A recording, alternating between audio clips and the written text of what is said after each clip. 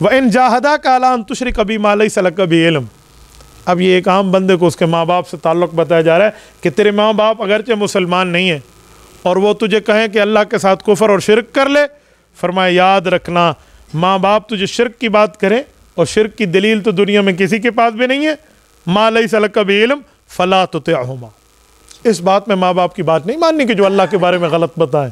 لیکن وہ صاحب فت دنیا معروفہ جب تک ماں باپ زندہ رہیں گے دنیا میں تو ان سے اچھائی در اچھائی کرے گا۔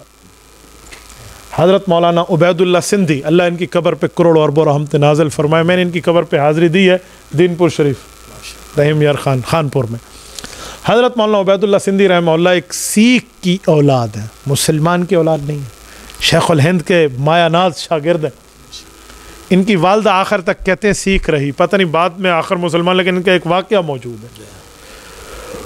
وہ ان سے ناراض تھی کہ یہ مسلمان کیوں بنا۔ اور بعض اوقات مارنے تک نوبت آ جاتی اور جوتی اتار کے مارتی۔ بچوں کو پڑھا رہے ہیں حدیث پاک کی کتاب، اور ماں گھر سے نکلی، جوتی اتار کے۔ عبید اللہ کہنے لگی جی تیرا ستیہ ناس ہو، تو نے ماں باپ کا دین چھوڑ دیا۔ تو انہیں شاگردوں کو آنکھوں آنکھوں میں خبردار جو کوئی بولا۔ بس اپنی ترتیب پہ رہنا۔ گا جی ٹھیک۔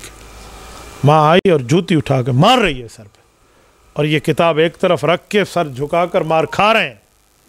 جب ماں تھک گئی، پھر وہ جوتی اٹھائی، امی کو اپنے ہاتھوں سے پاؤں میں پہنائی اور گھر جا کے چھوڑائے۔ کہا، میری اماں، تجھے شاید تیرا دین یہ سکھاتا ہو، مجھے میرے دین نے یہ سکھایا ہے۔